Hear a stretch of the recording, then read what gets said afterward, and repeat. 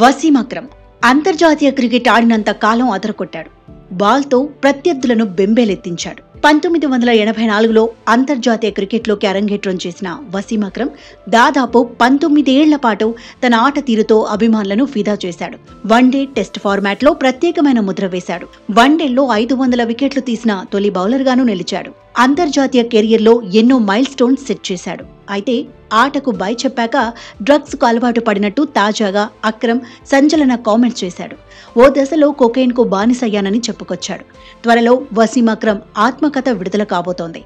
ఈ బుక్లో పంచుకున్న విషయాలను మాజీ ప్లేయర్ బయటపెట్టాడు. కామెంటేటర్గా మారిన తర్వాత వివిధ ప్రాంతాల్లో పనిచేశానని గుర్తు చేసుకున్నాడు. అదే టైంలో డ్రగ్స్కు అలవాటు పడినట్టు చెప్పాడు. దక్షిణాసియా దేశాల సంస్కృతిని గుర్తు చేశాడు. పేరు వచ్చిందంటే మైకంలో మునిగిపోయేవాళ్ళు ఎక్కువగా ఉంటారని అభిప్రాయపడ్డాడు. ఆ మైకం అవినీతి పరులుగాను మార్చేస్తుందన్నాడు. ఒక్క నైట్లో పది పార్టీలకు అటెండ్ అయ్యే వాళ్ళు కూడా ఉంటారని తన స్టైల్లో చెప్పాడు. ఈ కల్చర్ తనపై కూడా ఎఫెక్ట్ చూపించిందని వసీం అక్రమ్ అన్నాడు. కామెంటరీ కోసం వెళుతున్నానని చెప్పి పార్టీలు చేసుకున్న సందర్భాలు ఉన్నాయన్నాడు. తన భార్యకు చాలా రోజులు అబద్ధం చెప్పి బయటకు వెళ్ళేవాడినన్నాడు ఇంగ్లాండ్లో జరిగిన పార్టీలో తొలిసారి డ్రగ్స్ తీసుకున్నానని ఓపెన్ అయ్యాడు.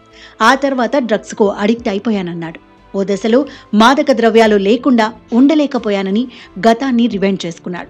కొకైన్ తీసుకుంటే కానీ తాను పని చేయలేనని అనుకున్న రోజులున్నాయన్నాడు. అయితే తన భార్య హుమా అనారోగ్యంతో పడ్డ బాధను చూశాక మళ్ళీ డ్రగ్స్ తీసుకోలేదన్నాడు. హుమా చివరి క్షణాలే తనలో మార్పు తీసుకొచ్చాయన్నాడు. ఆ తర్వాత మళ్ళీ డ్రగ్స్ వైపే చూడలేదన్నాడు. వసీం అక్రమ్ చేసిన కామెంట్స్ ఇప్పుడు సోషల్ మీడియాలో వైరల్గా మారాయి. కెరియర్లో ఎంత ఎదిగామన్నది కాదు. చెడు అలవాట్లకు బానిస కాకుండా బతకడం కూడా ముఖ్యమే అని క్రికెట్ అభిమానులు పోస్టులు పెడుతున్నారు.